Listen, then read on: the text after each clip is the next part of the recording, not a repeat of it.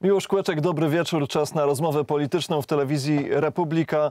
E, chciałbym powitać moich gości. Była minister rolnictwa i rozwoju wsi w trzecim rządzie premiera Mateusza Morawieckiego, pani poseł Anna Gębicka, Prawo i Sprawiedliwość. Witam panią. Dzień dobry, witam serdecznie. E, Na łączeniu na Skype'ie pan poseł Sławomir Ćwik, Polska 2050, Trzecia Droga. Dobry wieczór. Dobry wieczór, dobry wieczór pani, dobry wieczór panu redaktorowi, dobry wieczór państwu wszystkim. Bardzo mnie martwi, szanowni państwo i szanowny panie pośle, no bardzo mnie martwią te zgrzyty w koalicji mm, Donalda Tuska, w koalicji 13 grudnia. Spieracie się ze sobą o różne deklaracje programowe, zapowiedzi, których dzisiaj nie możecie zrealizować, ale ta kłótnia już dobiła do samego szczytu, do samej góry, y, ponieważ y, do kwestii współistnienia w koalicji, przyszłości, również tej najbliższej wyborów samorządowych, odniósł się sam premier Donald Tusk, który odcina się od trzeciej drogi, od PSL-u i od Polski 2050, od partnerów swoich politycznych, którzy piastują bardzo wysokie stanowiska. Marszałek Hołownia, marszałek Sejmu, wicepremier, minister obrony narodowej Władysław Kosiniak-Kamysz, a tu taki niespodziewany wpis Donalda Tuska. E, Spójrzmy na to, o czym mówię, a później będziemy to komentowali.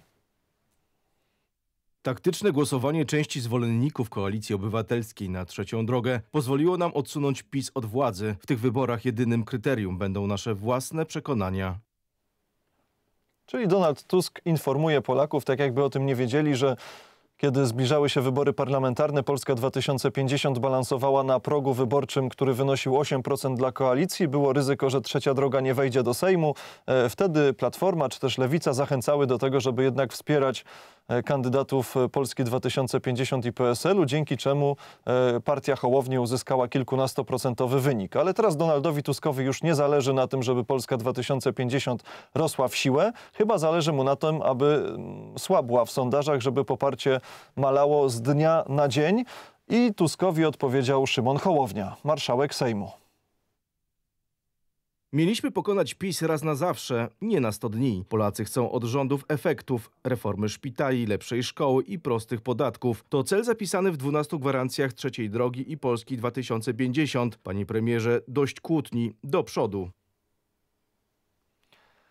To panie pośle, jeżeli marszałek Sejmu mówi do premiera dość kłótnie i do przodu i mówi to koalicjant do koalicjanta, kiedy nie rządzicie nawet jeszcze przez 100 dni, a już tak się kłócicie, że musicie w przestrzeni publicznej apelować, żebyście zakopali ten topór wojenny, to powiem panu, że to bardzo źle wróży dla Polski, dla przyszłości i dla ważnych reform, które powinny być realizowane. To ja chciałbym tylko przypomnieć, e, skąd wzięło się hasło dość kłótni do przodu, dlatego że to nie jest hasło, które dzisiaj powstało.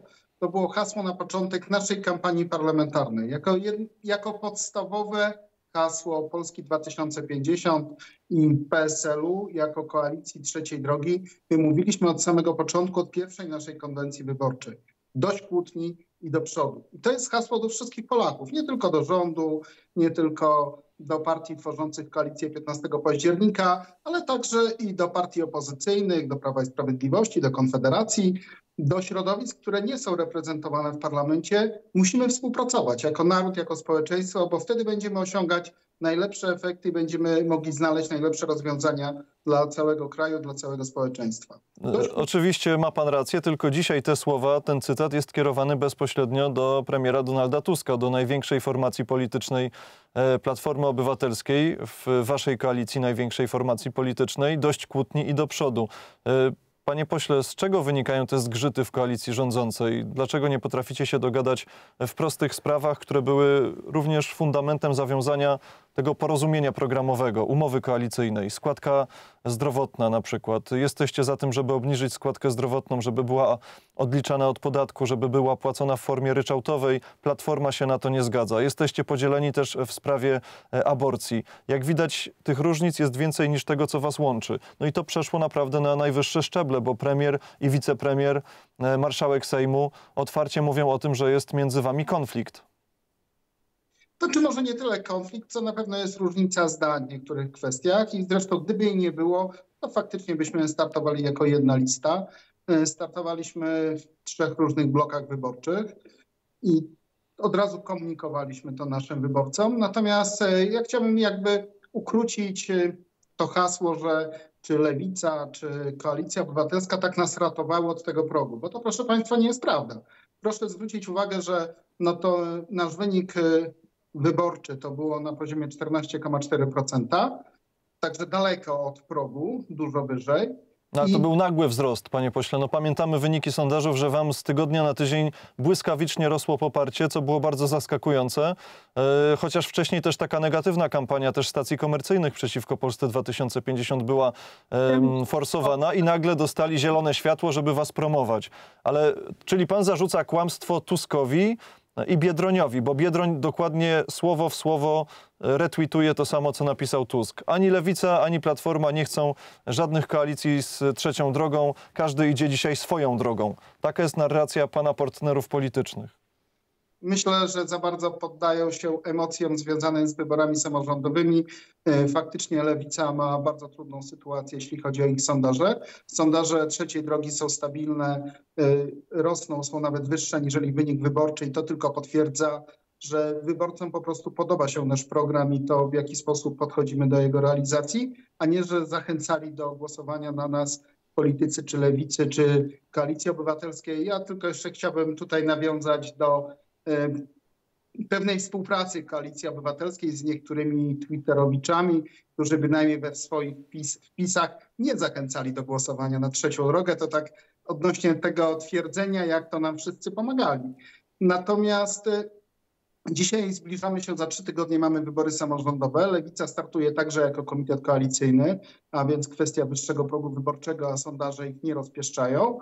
E, Chcieli bardzo startować przez Koalicję Obywatelską, ale zostali zostawieni, można powiedzieć, na lodzie przez e, Donalda Tuska. Być może tu jest problem, że te emocje e, niektórym przeszkadzają w postrzeganiu tego, co nas naprawdę otacza, w postrzeganiu rzeczywistości. Podobnie jeśli chodzi o kwestie podejścia do tematów aborcyjnych, które też zostały przez No to już tak niecenzuralne słowa w kierunku marszałka Hołowni zostały wypowiedziane. Już dzisiaj nie wracajmy do tego. Natomiast to, co mnie zastanawia, to stanowisko Donalda Tuska. To wytrawny, bardzo wytrawny, doświadczony polityk, który dzisiaj e, z pełną świadomością eskaluje konflikt wewnątrz własnej koalicji, e, który pisze, że nie będzie żadnej koalicji z trzecią drogą w wyborach samorządowych.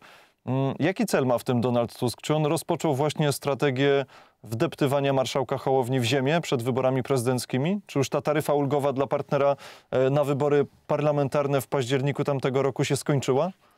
Myślę, że tak, że to jest e, już pewien manewr e, przed e, wyborami prezydenckimi, które nas czekają. Być może Donald Tusk się przestraszył popularności marszałka Hołowni. Natomiast widać, że to jest, można powiedzieć, kalka z tego, co Donald Tusk robił z koalicjantami w czasie swoich poprzednich rządów. Bo pamiętamy, że wtedy będąc w koalicji z PSL-em, Donald Tusk tak to wszystko rozgrywał, że twarzą tych e, najbardziej niepopularnych reform typu podniesienie wieku emerytalnego e, był e, Kosiniak-Kamysz, e, twarzą także innych niepopularnych decyzji także był akurat Kosiniak-Kamysz, więc ja widzę tutaj też analogię do tego, co się dzieje w rolnictwie i w Ministerstwie Rolnictwa, bo tam Donald Tusk z pełną premedytacją wsadził do Ministerstwa Rolnictwa takiego konia trojańskiego w postaci e, ministra Kołodziejczaka, e, który dokładnie, e, no bardzo często mówi e, dokładnie odwrotnie niż pozostali przedstawiciele resortu na czele z ministrem.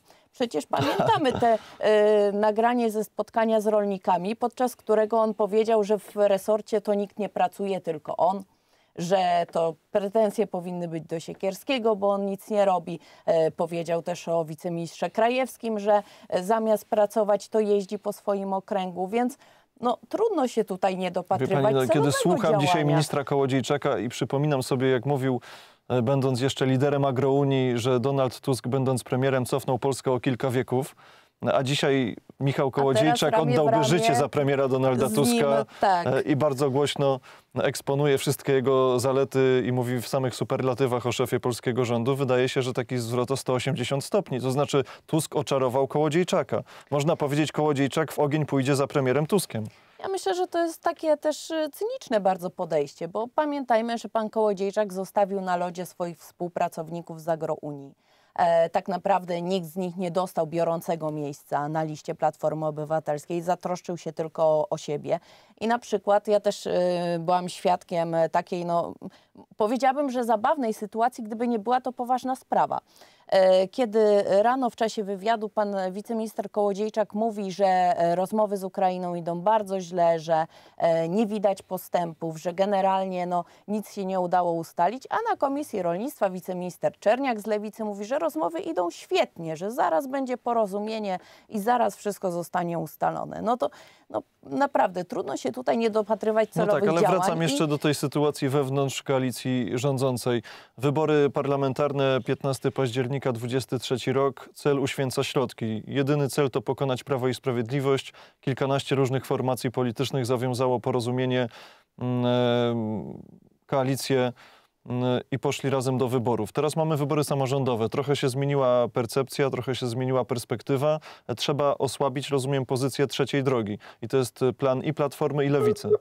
E, Myślę, że tak. I ja sama byłam świadkiem tego na poziomie lokalnym. U mnie we Włocławku, kiedy mieliśmy e, akurat no, Powiatowy Dzień Kobiet. E, I tutaj wszyscy składają życzenia, a przedstawiciel Platformy Obywatelskiej ze sceny przy widowni kilku tysięcy osób zaczął atakować przedstawicieli PSL-u, że blokują ustawy aborcyjne. No powiem szczerze, sytuacja dosyć kuriozalna, więc widać e, i na poziomie lokalnym, i na poziomie centralnym te napięcia.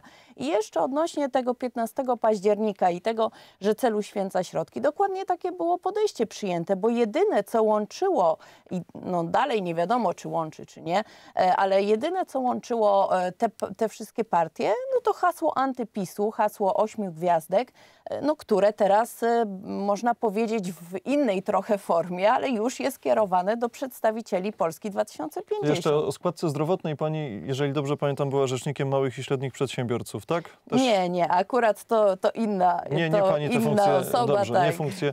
Natomiast czy składka zdrowotna podzieli do końca koalicję? Panie pośle, czy jeżeli Platforma Obywatelska, Lewica nie zgodzą się na składkę, przede wszystkim Platforma, na składkę zdrowotną w formie zryczałtowanej, odliczanej od podatku dochodowego, czy Polska 2050 odejdzie z rządu? Znaczy nie, ja zakładam, że na pewno dojdziemy do porozumienia co do kwestii zmian w składce zdrowotnej. No ale jakich? Bo wy, ale wy w deklaracji programowej, w umowie programowej zapisaliście bardzo jasno powrót do ryczałtowego naliczania składki zdrowotnej, do tego, co było przed Polskim Ładem, możliwość odliczania tej składki od podatku.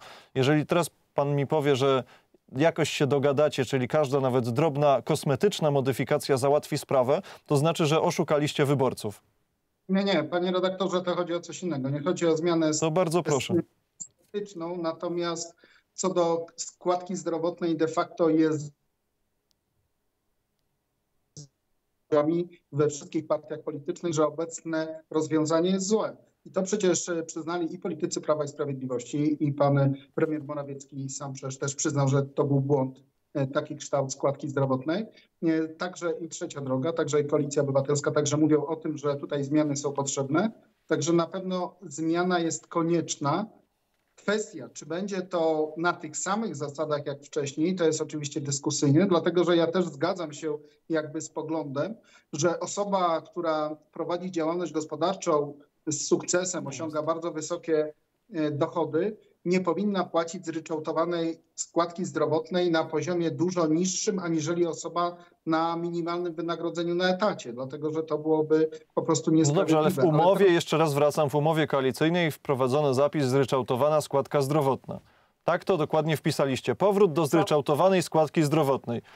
Tak, ale zryczałtowana to nie musi oznaczać, że dokładnie na tych samych zasadach, jakie były To wcześniej. kiedy dojdziecie do konsensusu w tej sprawie? Kiedy w końcu przedstawicie projekt ustawy, zmian, żeby przedsiębiorcy, jednoosobowe działalności gospodarcze, samozatrudnieni, mali i średni przedsiębiorcy wiedz- wiedzieli, jak na tym skorzystają? Bo wy wiecie, jak na tym stracicie. Jeżeli wprowadzicie te zmiany w tym roku podatkowym, to budżet państwa będzie kosztować 20 miliardów złotych. Więc może warto powiedzieć wprost Polakom, nie zmienimy tego, bo nas na to nie stać.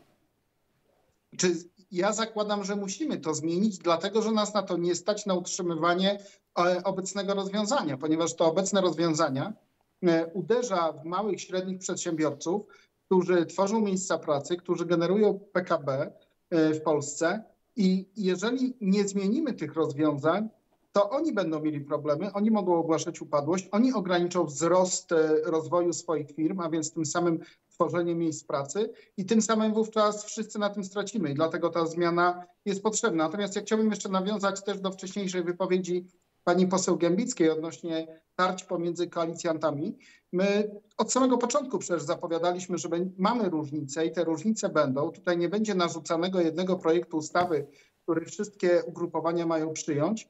Natomiast będziemy pracowali nad jak najlepszym kształtem tych ustaw. Dlatego też może się, na pewno będzie tak, że będziemy dłużej procedować te ustawy, ale wierzę w to, że to prawo stanowione przez koalicję 15 października będzie znacznie lepsze. Natomiast co do potraktowania koalicjantów, to ja chciałem tylko przypomnieć, jak czasami y, kończyli koalicjanci y, Prawa i Sprawiedliwości. To był dużo gorszy los aniżeli koalicjanci Platformy Obywatelskiej. Natomiast faktem jest, że Donald Tusk na pewno jest zainteresowany tym, aby na scenie politycznej była taka polaryzacja dwóch partii, dwóch dużych bloków e, wyborczych typu Prawo i Sprawiedliwość i Platforma Obywatelska. Z tego też względu trzecia droga, czyli i Polska 2050 i PSL e, ze swoimi wyborcami, ze swoją wizją widzenia polityki, tak jak kiedy my podnosimy na przykład w tej kwestii, że Y, nie zgadzamy się na upolitycznianie gospodarki, na mianowanie do zarządów spółek polityków, tylko powinni to być y, profesjonaliści, menadżerowie z rynku, którzy zostaną wyłonieni. Dobrze, to inny temat. Y,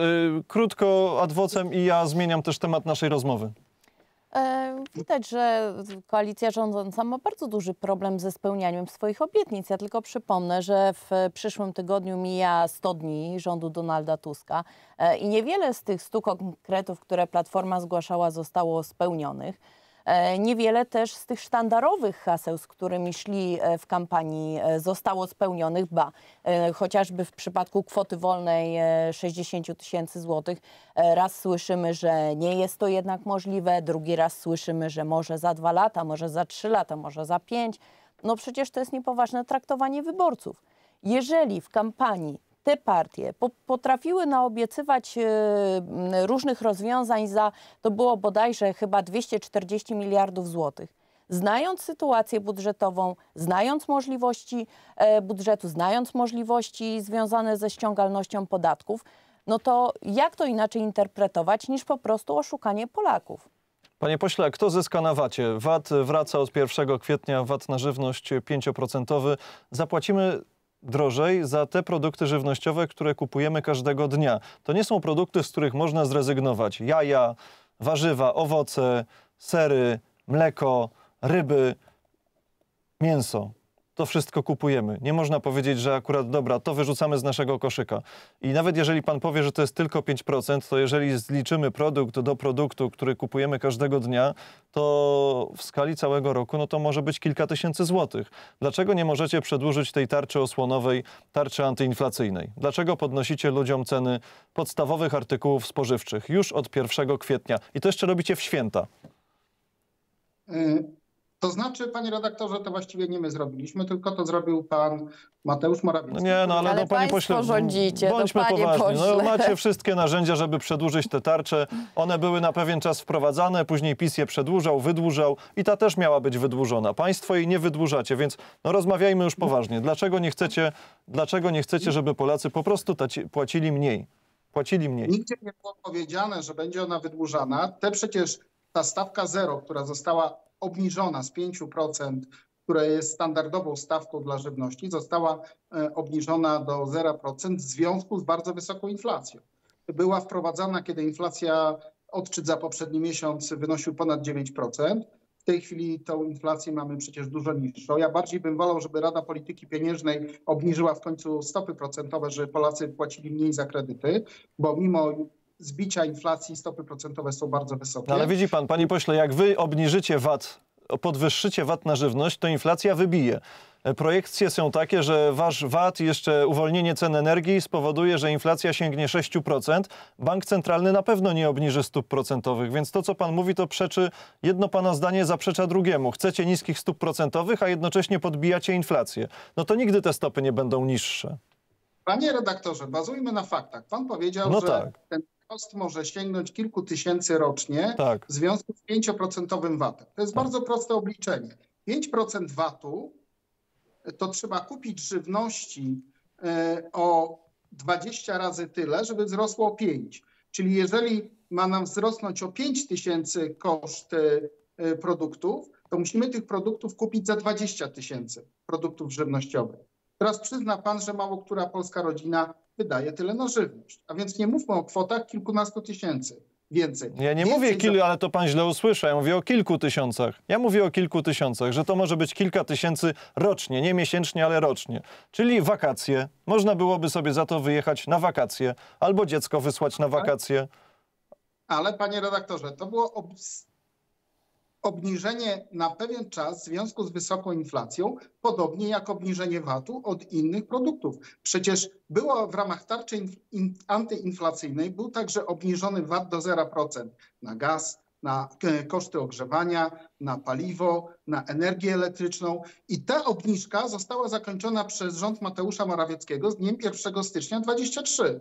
Wtedy VAT powrócił do pierwotnych stawek i na przykład VAT na paliwo powrócił z 0 do 23%, ogrzewania e, z 5 na 23, e, na paliwo z 8 na 23, na ogrzewanie z 5 na 23. To przecież były dużo, dużo większe podwyżki dla obywateli, tylko że ja tego nie nazywam podwyżką, dlatego że to był powrót do pierwotnych stawek VAT-u. VAT jest podstawowym podatkiem, który zasila budżet państwa i z tego budżetu musimy wszystko sfinansować. Począwszy od kosztów działania państwa, poprzez edukację, ochronę zdrowia, armię, bezpieczeństwo. To wszystko jest finansowane właśnie z VAT-u. To jest pytanie, czy to jest ten czas, tylko że za waszych czasów miało być taniej. Taniej, szybciej i lepiej. A na razie jest wolniej, drożej i gorzej. I taka jest różnica. E, Pytanie, czy to jest ten czas, żeby podwyższać stawkę VAT na podstawowe produkty żywnościowe, kiedy my jeszcze nie jesteśmy w celu inflacyjnym Narodowego Banku Polskiego. Jesteśmy blisko tego celu, ale jednocześnie mamy projekcję, że w lecie, na wiosnę inflacja znowu pójdzie w górę. A tymczasem VAT na żywność zostanie podniesiony, co jeszcze bardziej podbije dynamikę wzrostu cen. Więc czy to jest logiczne działanie nowego rządu i Ministerstwa Finansów? Oczywiście, że nie i to nie jest dobry moment. Natomiast co do tego, że miało być taniej, to pani Hanna Gronkiewicz-Walc powiedziała, że taniej to już było. I niestety koalicja 13 grudnia pokazuje różnymi swoimi działaniami, że idzie zupełnie inną drogą niż e, Prawo i Sprawiedliwość, bo już zapowiedzieli e, cofnięcie tarczy energetycznej e, od e, połowy roku, co może się wiązać z podwyżkami e, prądu 70% e, czy 72% bodajże, gazu około 50%. Pani minister Natomiast- Henik-Kloska też żongluje tymi procentami, liczbami, cyframi, Tak, kwotami. no, każdym, Dzisiaj nie wiedzą, ile nie mają tego słyszymy, policzonego. Tak, za każdym razem słyszymy inną wersję. Wakacji kredytowych w dotychczasowej formie ma nie być. Jak rozumiem, koalicja odpowiedziała na apel banków, które twierdziły, że wakacje kredytowe e, obniżają moralność płatniczą Polaków. No powiem szczerze, sformułowanie, e, nie wiem skąd oni to wymyślili, ale myślę, że dobrze podsumowuje też podejście e, banków do Polaków.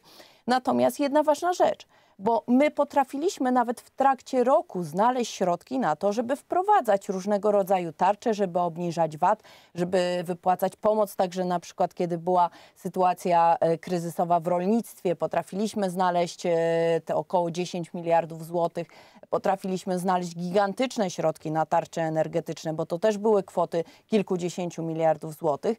A tutaj no, słyszymy, że nie i koniec, nie bierze się pod uwagę analiz ekonomicznych, to o czym wspomniał pan redaktor, że e, to doprowadzi do wzrostu inflacji.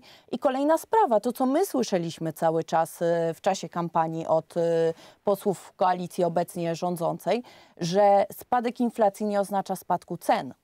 Oznacza pewne Spadek dynamiki wzrostu. dokładnie. Spadek dynamiki więc, wzrostu. E, więc jak teraz to wytłumaczyć? I powiem szczerze, ja y, obserwuję też te osoby, które, e, które no, mówiły o tym, że e, Prawo i Sprawiedliwość, że powinno e, to wydłużyć i tak dalej. Teraz mówią, że nie, absolutnie musi być ta podwyżka, bo to jest kwestia Tylko czy no mamy nie się dziwić, bo tak, była mowa, że te wszystkie wasze programy pisowskie to jest rozdawnictwo i że to właśnie up- upokarza tych ludzi, którzy otrzymują to świadczenie i którzy, którzy korzystają z tych benefitów. To jest upokorzenie e, polityki rozdawnictwa. Ale z drugiej strony były deklaracje, że co zostało dane, nie będzie zabrane.